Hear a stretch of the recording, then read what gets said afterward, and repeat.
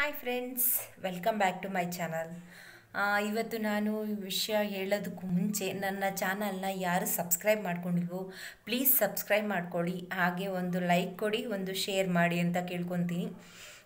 So ಇವತ್ತು ಯಾವ ವಿಷಯ ಹೇಳ್ತಾ ಇದ್ದೀನಪ್ಪ ಅಂದರೆ, ನೀವು ಆಲ್ರೆಡಿ ತಮ್ನೈನಲ್ಲಿ ನೋಡಿರ್ಬೋದು ಜ್ವರ ಮತ್ತು ವಾಂತಿ ಯಾಕೆ ನಿಮ್ಮ ಮಕ್ಕಳಲ್ಲಿ ಅತಿಯಾಗಿ ಕಾಣಿಸ್ಕೊಳ್ಳುತ್ತೆ ಅಂತ. ಸೊ ಆ ವಿಷಯಗಳು ನಾನು ಇವಾಗ ಹೇಳ್ತೀನಿ. ಇದು ಯಾಕೆ ಅಂತ ಅಂದರೆ ಬಾಲಗ್ರಹ ಅಂತ ಅರ್ಥ. ಬಾಲಗ್ರಹ ಅಂದರೆ ಏನು? ಏಳು ವರ್ಷದ ಮಕ್ಕಳಿಂದ ಹಿಡಿದು ಏಳು ತಿಂಗಳಾಗಿರ್ಬೋದು, ಇಲ್ಲಾಂದರೆ ಏಳು ದಿನ ಆಗಿರ್ಬೋದು, ಹದಿನಾಲ್ಕು ವರ್ಷದವರೆಗೂ ಮಕ್ಕಳಿಗೆ ಇದು ಜಾಸ್ತಿ ಹೆಚ್ಚಾಗಿ ಕಾಣಿಸ್ಕೊಳ್ಳುತ್ತೆ. ಇದು ಕಾಣಿಸ್ಕೊಳ್ಳೋಕ್ಕೆ ಬಂದಾಗ ಯಾವ್ಯಾವ ಲಕ್ಷಣ ಆಗಿರುತ್ತೆ ಅಂತಂದರೆ, ಸೊ, ನಿಮ್ಮ ಮಕ್ಕಳು ವಾಂತಿ ಮಾಡೋದಾಗಿರ್ಬೋದು ಇಲ್ಲ ಅಂದರೆ ಮಲಗಿದಾಗ ಬೆಚ್ಚ ಬೀಳೋದಾಗಿರ್ಬೋದು ನೀವು ತುಟಿ ಮುಟ್ಟಿ ನೋಡ್ಬೋದು, ಎಲ್ಲ ಒಂಥರ ಸೀದಿರೋ ಹಂಗಾಗಿರುತ್ತೆ ಮತ್ತು ಕಿವಿ ಸ್ವಲ್ಪ ಕೋಲ್ಡ್ ಆಗಿರುತ್ತೆ. ಸೊ ಅದರಿಂದ ನೀವು ತಿಳ್ಕೊಬೋದು, ಇದು ಬಾಲಗ್ರಹ ಅಂತ. ಸೊ ಎಷ್ಟೊಂದು ಜನಕ್ಕೆ ಇದೆಲ್ಲ ನಂಬಿಕೆ ಇರೋದಿಲ್ಲ. ನೀವು ಇದು ಬಂದಿರೋದ್ರಿಂದ ಹಾಸ್ಪಿಟಲ್ಗೆ ಕರ್ಕೊಂಡು ಹೋಗ್ತೀರಾ. ಸೊ ಅದರಲ್ಲೂ ವಾಸಿ ಆಗದೆ ಇರೋಂತಹ ಒಂದು ಇದು ವಿಷಯ ಅಂತಲೇ ಹೇಳ್ಬೋದು. ಸೊ ಆಗಿನ ಅಜ್ಜಿದಿರಿಗೆಲ್ಲ ಇದು ವಿಷಯ ಗೊತ್ತಿರುತ್ತೆ, ಬಾಲಗ್ರಹ ಅಂದರೆ ಏನು ಅಂತ. ಸೊ ನೀವು ಇದು ಬೇಗನೆ ಇದಕ್ಕೆ ಪರಿಹಾರ ಮಾಡಿಕೊಂಡ್ರೆ ಬೆಟರ್ ಅಂತ ನಾನು ಹೇಳ್ತೀನಿ. ಇಲ್ಲಾಂದರೆ ಮಕ್ಕಳಿಗೆ ತುಂಬ ಇದು ಜಾಸ್ತಿ ಆದಾಗ ಹಲವಾರು ರೀತಿಯ ಪರಿಣಾಮಗಳು ಆಗುತ್ತೆ.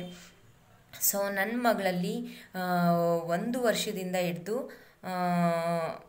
ಅಂದರೆ ಒಂದು ವರ್ಷ ಅಲ್ಲ, ಒಂದು ತಿಂಗಳಿಂದ ಹಿಡಿದು ಇವಾಗ ಎರಡು ವರ್ಷ ಆದ್ರೂ ನಾನು ಬಾಲಗ್ರಹ ಹಾಕಿಸ್ತಾನೇ ಇದ್ದೀನಿ. ಅವಳಿಗೆ ತಿಂಗಳ ತಿಂಗಳ ಬಾಲಗ್ರಹ ಆಗುತ್ತೆ. ನಾನು ಇವಾಗ ನಿಮಗೆ ಯಾವ್ಯಾವ ಲಕ್ಷಣ ಹೇಳಿದ್ನೋ ಆ ಲಕ್ಷಣಗಳು ಜಾಸ್ತಿ ಹೆಚ್ಚಾಗಿ ನನ್ನ ಮಕ್ಕಳಲ್ಲಿ ಕಾಣಿಸ್ಕೊಳ್ಳುತ್ತೆ. ಆಗ ಹೋಗಿ ನಾವು ಬಾಲಗ್ರಹ ಚೀಟಿ ಅಂದರೆ ಯಂತ್ರನ ಹಾಕ್ಸ್ಕೊಂಡು ಬಂದಾಗ ಅವಳಿಗೆ ಒಂದು ರಿಲ್ಯಾಕ್ಸ್ ಆಗ್ತಾಳೆ. ಜಾಸ್ತಿ ಚಳಿ ಹಿಡಿತಾಳೆ ಈ ಟೈಮಲ್ಲಂತೂ. ಸೊ ಅದರಿಂದ ನಾನು ನಿಮಗೆ ಹೇಳೋದಕ್ಕೆ ಇಷ್ಟಪಡ್ತೀನಿ. ಸೊ ಇದನ್ನು ನೀವು ಹಾಕ್ಸ್ಕೊಂಬರೋದಕ್ಕೆ ಮುಂಚೆ ಆಗಲಿ, ಇಲ್ಲ ಹಾಕ್ಸ್ಕೊಂಬಂದು ಆಗಲಿ, ಸ್ನಾನನ ಮಾಡ್ಸೋಕ್ಕೆ ಹೋಗಬೇಡಿ. ಯಾಕಂದರೆ ಬಾಲಗ್ರಹ ಆದಾಗ ಸ್ನಾನ ಮಾಡಿಸ್ಬಾರ್ದು ಅಂತ ಹೇಳ್ತಾರೆ. ಸೊ ನಾನು ನಿಮ್ಗೆ ಅದನ್ನೇ ಹೇಳೋದಕ್ಕೆ ಇಷ್ಟಪಡ್ತೀನಿ. ಇನ್ನೂ ಹಲವಾರು ವಿಷಯಗಳು ಇದರಲ್ಲಿದೆ. ಬಾಲಗ್ರಹ ಅಂದರೆ ತುಂಬಾ ಒಂದು ಅಪಾಯಕಾರಿ ಅಂತ ಹೆಚ್ಚಾಗಿ ಹಿರಿಯರು ಹೇಳ್ತಾರೆ.